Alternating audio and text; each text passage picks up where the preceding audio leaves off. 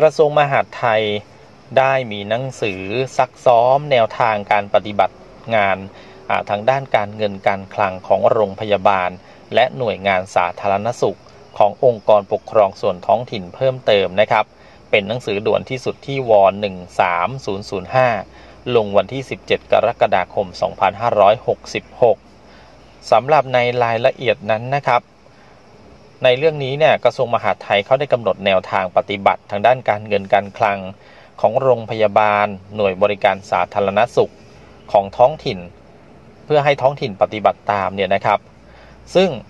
กระทรวงมหาดไทยได้รับการประสานจากท้องถิ่น ว่าขอทราบแนวทางปฏิบัติวิธีกะแนวทางปฏิบัติกรณีการแก้ไขปรับปรุง หรือเพิ่มเติม เปลี่ยนแปลงแผนการใช้จ่ายเงินประจำปี การมอบหมาย การอนุมัติดีกา การแต่งตั้งพนักงงานท้องถิ่น ในการถอนเงินฝากธนาคารของโรงพยาบาลและหน่วยบริการสาธารณสุข รวมถึงการใช้จ่ายเงินบำรุงคงเหลือ กรณีมีความจำเป็นเร่งด่วนเพื่อจ่ายเป็นค่าคารุพันธ์ดังนั้นเนี่ยเพื่อให้การปฏิบัติงานทางด้านการเงินการคลังของโรงพยาบาล และหน่วยบริการสาธารณสุขของท้องถิ่นเป็นไปด้วยความเรียบร้อยนะครับ อาศัยอำนาจตาม ตามข้อ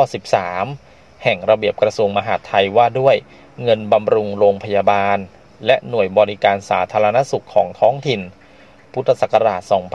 2560 และที่แก้ไขเพิ่มเติมข้อ 4 แห่งระเบียบกระทรวงมหาดไทยว่าด้วยการเงิน การรับเงินการเบิกจ่ายเงิน 2547 จึงได้กำหนดแนวทางการปฏิบัติงานทางด้านการเงิน การคลังของโรงพยาบาล และก็หน่วยบริการสาธารณสุขของท้องถิ่นเพิ่มเติม ซึ่งรายละเอียดเป็นอย่างไรเราไปดูเอกสารแนบท้ายหนังสือฉบับนี้นะครับสำหรับแนวทางปฏิบัติทางด้านการเงินการคลังของโรงพยาบาล และหน่วยบริการสาธารณสุขขององค์กรปกครองส่วนท้องถิ่นเพิ่มเติม ตามหนังสือกระทรวงมหาดไทยด่วนที่สุดที่ว 13005 ลงวันที่ 17 กรกฎาคม 2566 นะครับ หนึ่งก็คือในการจัดทำแผนการใช้จ่ายเงินประจำปีของโรงพยาบาล และก็หน่วยบริการสาธารณสุขของท้องถิ่นนะครับ ตรงนี้เนี่ยในการจัดทำเนี่ยให้แสดงรายละเอียดโดยอาจจัดทำเป็นเป็นกิจกรรม หรือโครงการเนี่ยบรรจุเอาไว้ในแผนการใช้จ่ายเงินประจำปี และเมื่อผ่านความเห็นชอบของคณะกรรมการพิจารณาแผนการใช้จ่ายเงินประจำปีของโรงพยาบาล หน่วยบริการสาธารณสุขของท้องถิ่นแล้วนะครับ ก็ให้ผู้อำนวยการโรงพยาบาล หรือหัวหน้าหน่วยบริการสาธารณสุขของท้องถิ่น ประกาศใช้แผนการใช้จ่ายเงินดังกล่าวนะครับ 1.1 การแก้ไขข้อความที่ผิดพลาดคาดเคลื่อนของแผนการใช้จ่ายเงินประจำปี ที่ประกาศใช้ไปแล้วเนี่ยให้เป็นอำนาจของผู้อำนวยการโรงพยาบาล หรือหัวหน้าหน่วยบริการสาธารณสุขขององค์กรปกครองส่วนท้องถิ่นนะครับ เพราะฉะนั้นถ้ามีข้อความผิดพลาดคาดเคลื่อน สามารถแก้ไขได้นะครับ ตรงนี้เป็นเป็นอำนาจของผู้อำนวยการ หรือหัวหน้าหน่วยบริการได้เลยนะครับ 1.2 การเพิ่มเติม หรือว่าเปลี่ยนแปลงแผนการใช้จ่ายเงินประจำปี ถ้าเป็นการเพิ่มเติมหรือเปลี่ยนแปลงนะครับ ให้เป็นอำนาจของคณะกรรมการพิจารณา แผนการใช้จ่ายเงินประจำปีของโรงพยาบาล และหน่วยบริการสาธารณสุขของท้องถิ่น กรณีการเพิ่มเติมหรือเปลี่ยนแปลงการใช้แผนการใช้จ่ายเงินประจำปี ซึ่งเป็นงานนโยบายของรัฐบาล กระทรวงมหาดไทย โครงการโครงการพระราชดำริ งานพระราชพิธี และรัฐพิธี ให้เป็นอำนาจของผู้อำนวยการโรงพยาบาล หรือหัวหน้าหน่วยงานสาธารณสุขนะครับ ถ้าเป็นนโยบายนะครับ แล้วก็จะต้องรายงานให้คณะกรรมการพิจารณาแผนการใช้จ่ายเงินประจำปีของโรงพยาบาล และหน่วยบริการสาธารณสุขท้องถิ่นทราบนะครับ 1.3 ในกรณีที่โรงพยาบาลหรือหน่วยงานสาธารณสุขท้องถิ่น ที่มีการประกาศใช้แผนการใช้จ่ายเงินประจำปีไม่ทัน งบประมาณปีใหม่นะครับ ถ้าไม่ทัน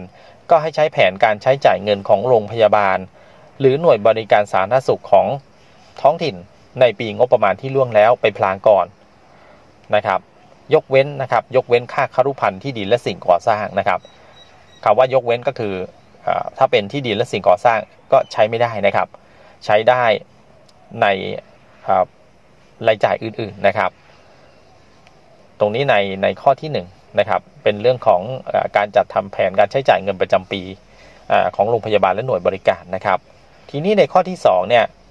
แผนการใช้จ่ายเงินประจำปีที่คณะกรรมการเห็นชอบ แล้วก็ผู้อำนวยการโรงพยาบาล หรือหัวหน้าหน่วยบริการสาธารณสุข ท้องถิ่นประกาศใช้ไปแล้ว ให้ผู้อำนวยการโรงพยาบาลหรือหัวหน้าหน่วยบริการ ของท้องถิ่นเนี่ยอนุมัติดำเนินการตาม กิจกรรม หรือโครงการตามแผนการใช้จ่ายเงินประจำปีนะครับ เพราะฉะนั้นถ้าผ่านความเห็นชอบไปแล้ว ผู้อนุมัติให้ดำเนินการก็เป็นผู้อำนวยการโรงพยาบาลนะครับ หัวหน้าหน่วยบริการสาธารณสุขนะครับ กรณีการเบิกจ่ายเงินค่าตอบแทน ใช้สอยและวัสดุ และค่าสาธารณูปโภคในแต่ละเดือนเนี่ยไม่จำเป็นนะครับไม่เป็นไม่เป็นตามแผนการใช้จ่ายเงินประจำปีนะครับ กรณีที่ การเบิกค่าตอบแทนใช้สอยวัสดุ และค่าสาธารณูปโภคในแต่ละเดือน ไม่เป็นไปตามแผนการใช้จ่ายเงินประจำปีนะครับ ตรงนี้นะครับ ให้สามารถเบิกจ่ายได้ภายในวงเงินรวม ที่คณะกรรมการพิจารณา แผนการใช้จ่ายเงินประจำปีของโรงพยาบาล และก็หน่วยบริการสาธารณสุขของท้องถิ่นเห็นชอบนะครับ โดยที่ไม่ต้องเปลี่ยนแปลงแผนการใช้จ่ายเงินประจำปีนะครับ ต่อมาในข้อที่ 3 ผู้บริหารท้องถิ่นอาจจะมอบหมายให้ผู้อำนวยการโรงพยาบาล หรือหัวหน้าหน่วยบริการสาธารณสุขของท้องถิ่น เป็นผู้อนุมัติดีกา